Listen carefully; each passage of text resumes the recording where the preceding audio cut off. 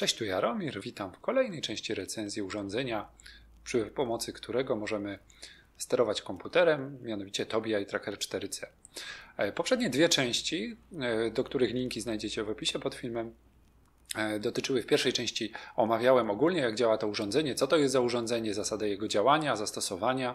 W drugiej części starałem się pokazać na przykładzie zagrajmy filmu typu zagrajmy w na przykładzie Master of Orion, jak to urządzenie sprawdza się w grach e, strategicznych, turowych strategicznych, a tym razem chciałbym e, spróbować pokazać Wam, jak sprawdza się to urządzenie w grach akcji typu Rise of Tomb Raider.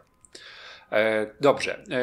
Dla osób jeszcze zainteresowanych, również pod filmem znajdziecie link do strony Tobi, gdzie również można znaleźć informacje na temat tego urządzenia. E, tak może dla osób, które mm, jeszcze nie oglądały poprzednich części, e, Tytułem wyjaśnienia, e, dla mnie to urządzenie to jest nie tylko jakby takie powiedzmy urządzenie, które pozwala na naturalną interakcję z komputerem, ale również po prostu wiąże się to z moimi zainteresowaniami, więc nie tylko powiedzmy interesuje mnie zastosowanie tego w grach, ale również różne inne zastosowania. Dlatego jakby robię też tą recenzję, ponieważ no robię to, co lubię, krótko mówiąc. E, dobrze, e, teraz tak. E, gra Rise of Tomb Raider jest jakby no, grą akcji, w związku z czym liczy się tutaj refleks, y, jakby troszeczkę taka szybkość i tak dalej, w związku z czym no, y, to sterowanie wzrokiem jest bardzo w tym momencie Moim zdaniem takie wrażenie jest, e, przydaje się, dlatego że pozwala troszeczkę szybciej reagować na swoje rzeczy. Oczywiście nie wiem, czy mi się uda to zaprezentować, dlatego że zazwyczaj nie gram w gry akcji, e, w związku z czym no, nie mam nawet żadnego gamepada, więc sterowanie tutaj na klawiaturze trochę czasu jakby mi zajęło w ogóle e, przyzwyczajenie się do jakiegokolwiek sterowania w tego typu grach, w związku z czym ciągle gdzieś wpadałem w jakieś dziury i tak dalej, i tak dalej. Tak więc tak więc na pewno nie jestem jakimś e, dobrym graczem, jeżeli chodzi o te gry, ale myślę, że nie o to tutaj jakby w tej recenzji chodzi. E, jednocześnie też e, możecie zauważyć, że tutaj po ekranie lata taki wskaźnik, to jest jakby pokazanie, gdzie ja patrzę, e, dlatego że no chciałem między innymi jakby też, żebyście widzieli po prostu, e, gdzie patrzę, chociaż e, dla mnie jest to troszeczkę jakby rozpraszające i tak na dłuższą metę ciężko jest w tym momencie e, grać właśnie z takim wskaźnikiem. E, ok, e, może tak, przejdźmy w tym momencie, e, chciałbym w tym momencie zerknąć jeszcze na opcję, żeby pokazać w tym momencie co, w jaki sposób w tej grze akurat jest wspomaganie sterowania. Od razu też chciałbym tutaj zaznaczyć, że Mm, taka moje przynajmniej obserwacje jedną, że to śledzenie wzroku Tobi jest, e, przydaje się jako wspomaganie e, po prostu takiego sterowania grami, a nie zastąpienie typowego czy standardowego kontrolera, czy myszki, czy klawiatury. E, pierwszą rzeczą, jaką ja w ogóle tutaj trafiłem, takie moje wrażenie, to w ogóle nie mogłem się do tego przyzwyczaić, dlatego że starałem się po prostu no, zastąpić właśnie wzrokiem sterowanie, co mi się nie udało oczywiście, bo nie do tego zostało to zaprojektowane. Zresztą, nawiasem mówiąc, urządzenie produkuje firma Tobi, natomiast e, producenci gier wykorzystują e, funkcjonalność tego urządzenia, więc wszystko zależy właśnie, jak e, producenci gier sobie przemyślą też, jak można to urządzenie tutaj wykorzystać. W przypadku gry Rise of Tomb Raider, w odróżnieniu od Master of Orion, dodana tutaj została obsługa kolejnej funkcjonalności tego urządzenia, a mianowicie detekcję ruchów głowy również. Czyli nie tylko wzrokiem możemy sterować, ale również ruchami głowy.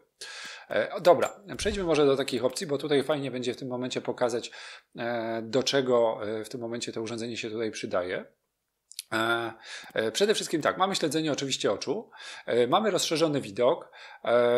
To w tym momencie pozwala nam obracać kamerą, tak jakbyśmy się rozglądali po okolicy, poprzez ruchy głowy. Oprócz tego śledzenie oczu możemy rzucanie wzrokiem, obrót wzrokiem, też e, mniejsze obroty robić wzrokiem, to znaczy tak sobie jakbyśmy spoglądali gdzieś na boki, e, również w ten sposób jakby rozglądać się po okolicy. Oprócz tego mamy no oczywiście szereg tutaj parametrów, które sobie można ustawić, dostosować do swojego swoich preferencji, czułość tego po prostu reagowania. Możemy celować wzrokiem. To jest fajna rzecz, ponieważ no, generalnie patrzymy tam, gdzie chcemy strzelać i, i po prostu strzelamy. Czy celujemy dopiero wtedy i strzelamy. E, możemy rzucać przedmiotami, e, no i podświetlać elementy otoczenia. Można również y, schować sobie interfejs w ten sposób, żeby nam nie zasłaniał po prostu wzroku i dopiero nie zasłaniał pola widzenia i dopiero w momencie, kiedy, e, no, kiedy sobie popatrzymy na dane miejsce, to wtedy ten interfejs, o teraz można zauważyć, że to podświetlenie naciśnij E jakby zostało takie mm, troszeczkę wyszarzone, dopiero jak się na to popatrzę, to mi się to podświetla. E, teraz tak, żeby pokazać jedną funkcjonalność, jak widzicie, patrzę na boki, no i automatycznie e, tak jakbym się troszeczkę rozglądał. Natomiast teraz postaram się wbić wzrok jakby w środek ekranu i ruszać głową. I widać, że te, w tym momencie, no oczywiście wzrok mi naturalnie trochę podąża, trochę ciężko jest patrzeć w jedno miejsce ruszając głową, bo... ale jak widać mogę się po prostu rozglądać yy, w dość takim szerokim zakresie, żeby sobie obserwować, e, co się po prostu wokół mnie dzieje. Jeżeli chodzi o celowanie, momencik, ja się tutaj muszę trochę przystosować, bo tak jak mówię, nie mam doświadczenia w tego typu grach, w związku z czym opanowanie klawiatury jeszcze następcza mi problemy. Zresztą sobie musiałem nawet przedefiniować troszeczkę e, klawisze, żeby mi było trochę wygodniej. E, dobra, przejdźmy, bo tu nam coś zasłania. Przejdźmy kawałeczek dalej. Polowanie. Zabijają prawie zwierzęta. Dobrze, będziemy starać się coś upolować, aczkolwiek nie wiem, czy mi się uda. Celowanie. No to spróbujmy popatrzeć gdzieś na przykład, no nie wiem, tutaj. I jak widać, kursor automatycznie nam przycelował w to miejsce. Spróbujmy, tu jest jakieś gniazdo czy coś. O, mogę w to szczelić. No fajnie. Czy to coś tam daje mi? Chyba mi daje. Ok, coś znalazłem. Aha, pióra to są. No, no właśnie, to nawet nie wiedziałem, że tu jakieś takie pióra można sobie zestrzelić. No dobra, to zobaczmy, co tutaj się dalej kryje. To już chyba wyeksplorowałem. Ja już trochę podciągnąłem tutaj akcję tej gry, dlatego że w początkowym, na początku tej gry no po prostu jest rodzaj takiego tutoriala, żeby yy, przystosować się troszeczkę do e, powiedzmy do sterowania nauczyć. E, w taki naturalny sposób. Natomiast dopiero chyba od tej części mniej więcej mamy możliwość e, takiego większego w tym momencie. O! Zaraz, który ja mam klawisz? No, prawie żebym wycelował. Ach, drzewo mi zasłania.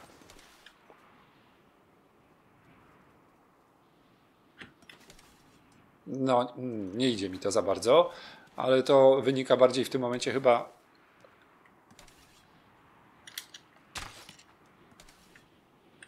wynika chyba bardziej z mojego, że tak powiem, e, nieobeznania z tego typu grami niż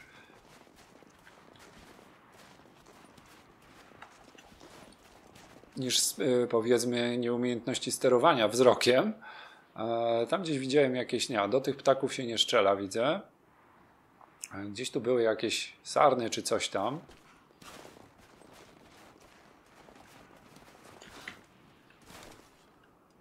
No właśnie, jakoś mi nie idzie to sterowanie. Na razie. Znaczy refleks mam za słaby. Okej, okay, dobra.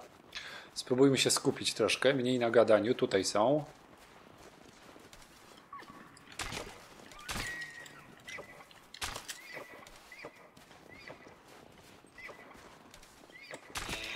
O, udało się. Ok. Teraz mi się udało przycelować odpowiednio i ustrzelić tą sarnę. Te ruiny. No dobra. Jakieś ruiny mamy tutaj. Tam jest coś ciekawego. Aha, to są podświetlane rzeczy. Trójca. Są tutaj. Ups. Centrala, słyszysz mnie? Tam są jacyś wrogowie. Oho. Niech to szlak. Co to było? Chyba jakieś wilki są czy coś. Gdzie jest ta sarna? Spróbujemy ją ustrzelić. A nie będę może długo grał, bo bardziej chciałem pokazać tutaj w tym momencie to sterowanie. A... Do gołębi się nie strzela. Gdzieś ta... O, tu jest sarna. A nie ten klawisz. No właśnie, nie mam jeszcze opanowanych, że tak powiem, klawiatury. Jeszcze mi się troszeczkę to miesza. Spróbujmy ją.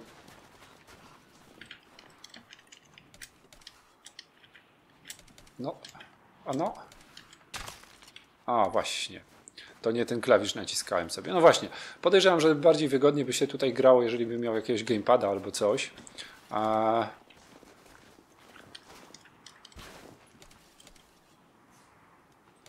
Jak na razie to problematyczne jest po prostu trafianie w klawisze.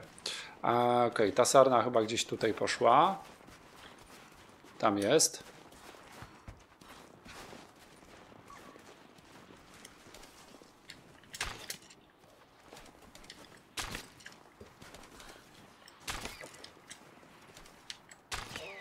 Dobra, udało się. Ok, trzeba to troszkę się do tego przyzwyczaić. Taka moja w ogóle obserwacja, e, tutaj z tym związana e, właśnie z kierowaniem wzrokiem, e, no właśnie jest, to jest bardzo naturalne, tylko trzeba po prostu o tym zapomnieć, że w ogóle możemy sterować tym wzrokiem, tylko po prostu trzeba w naturalny sposób. A, right shift, nie mamy strzału.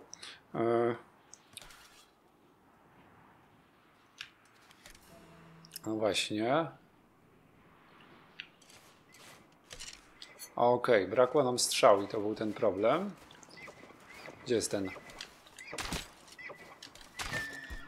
O, teraz już mi idzie coraz lepiej, widzę.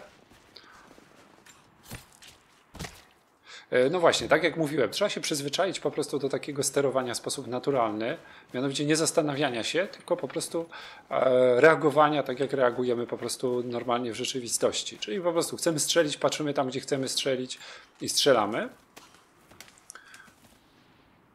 Podświetlmy sobie tym naszym wzrokiem takim specjalnym. W ogóle się możemy chyba wspinać. O, tam jest jeszcze jakiś saren.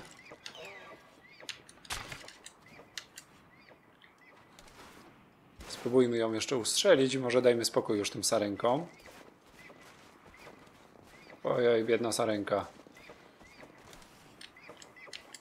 A.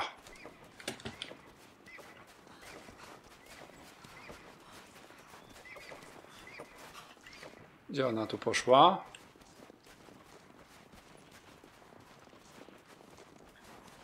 Gdzieś mi zwiała.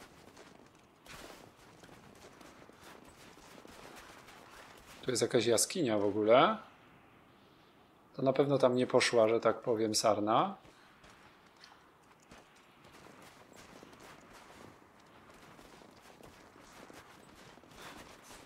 O, spróbujmy ją jeszcze gdzieś upolować, tylko żebym ją znalazł. To nie, to jest moje obozowisko. Chyba gdzieś mi uciekła. Chyba, że gdzieś jeszcze tutaj jest. Królik jest pewnie cięższy do uszczelenia.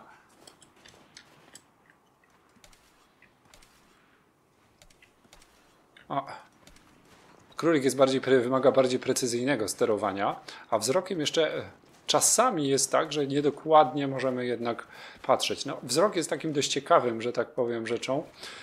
No nie mamy jakby pełnej kontroli nad tym, gdzie, znaczy mamy pełną kontrolę nad tym, gdzie patrzymy, ale no super precyzyjnie są jeszcze takie mikroruchy, powiedzmy, ruchy sakadowe to się nazywają, e, które są mimowolnie wykonywane, e, no i na które nie mamy wpływu. W związku z czym no to urządzenie generalnie może nie powinno rejestrować, bo nie ma aż takich wygórowanych parametrów, ale na pewno to troszeczkę takie szybkie ruchy, gdzieś spojrzenia w bok, e, gdzie kontrolujemy sytuację, e, można zauważyć tutaj. O, tu jest ta sarna. Dobra, położyliśmy kres jej, że tak powiem, życiu, ale niestety wyższa konieczność tego wymaga.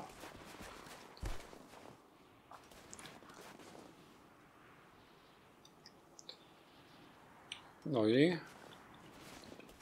czemu nie możemy tutaj nic z tej sarny wziąć? A, bo to jest ta, dobra. Ok. Dobra, trochę żeśmy tutaj. Czy tego patyka jesteśmy w stanie wziąć? Nie, to nie jest patyk do wyjmowania.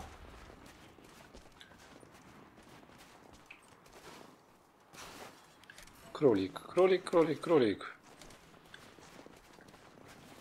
Tak szybko biega, że ja nawet wzrokiem nie jestem w stanie za nim nadążyć. No tak, tam jest.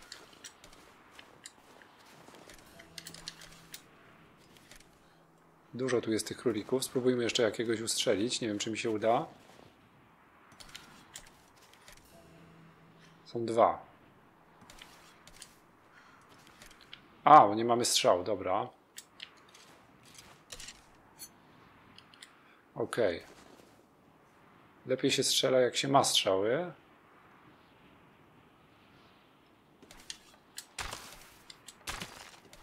Dobra, źle przycelowałem.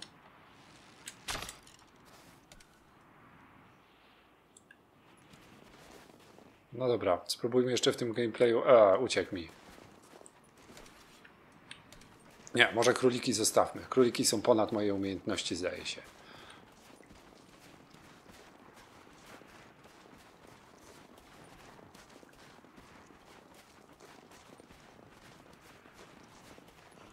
Okej, okay. no dobra. E, to myślę, że, że mm, w jakiś tam sposób udało mi się w tym momencie pokazać może nie najlepszy bo tak jak mówiłem, nie jestem jakby zbyt doświadczonym graczem, jeżeli chodzi o gry akcji, pokazać właśnie działanie tego eye trackera. E, jak widać teraz w ogóle nie zwracałem uwagi na to, że ruszam głową, rozglądam się, po prostu starałem się to e, traktować zupełnie w sposób naturalny e, i w ten sposób jakby to bardzo fajnie się sprawdza to urządzenie. Zestaw survivalowy, super różne surowce. No dobra.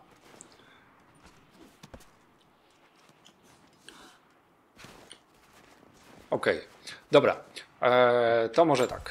To tyle, jeżeli chodzi o e, pokazanie właśnie tego urządzenia. Jeszcze raz e, przypominam, możecie znaleźć linki do poprzednich e, części tej recenzji e, pod filmem, tak jak również link do strony producenta.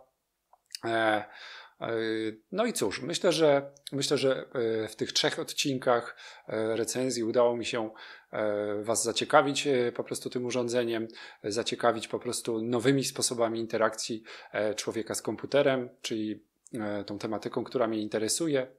Zresztą e, tak ogólnie no, bardzo można w tym momencie zauważyć, że ostatnimi czasy pojawia się dużo różnego rodzaju urządzeń właśnie, e, które pozwalają na e, w jakiś sposób inne sposoby interakcji. Mamy z komputerem, mamy przecież te okulary, nagłowne, tak zwane head-mounted displays, które w tym momencie jakby można powiedzieć coraz częściej się pojawiają. Mamy różne urządzenia, które pozwalają na sterowanie E, komputerem przy pomocy ruchów ciała, jak na przykład Kinect. E, mamy różne urządzenia, które pozwalają rozpoznawanie gestów i tak dalej, i tak dalej. No i właśnie wśród nich pojawiło się e, już od pewnego czasu zresztą urządzenie firmy Tobi pozwalające na wspomaganie sterowania przy pomocy wzroku, e, jak można było właśnie w tej recenzji e, zauważyć. Także myślę, że no, y, ciekawe to wszystko jest. E, jeżeli chodzi o użyteczność tego wszystkiego, no to tu już każdy musi właściwie sam ocenić. Tak jak mówiłem na początku recenzji, dla mnie to jest bardziej powiedzmy związane z zainteresowaniami, więc no, sama możliwość eksplorowania, jak to wszystko działa, jak E, jak można ewentualnie to wykorzystać, to po prostu mnie bardzo bawi i interesuje. E, natomiast no, z punktu widzenia gracza, to myślę, że Wy już sami najlepiej ocenicie, e, jak przydatność tego urządzenia, czy jako powiedzmy, na, na ile ono jest, jest fajne. No to zapraszam już do moich standardowych filmów typu zagrajmy w standardowych pozostałych serii. E, dziękuję za obejrzenie e, tej recenzji. Cześć i do zobaczenia.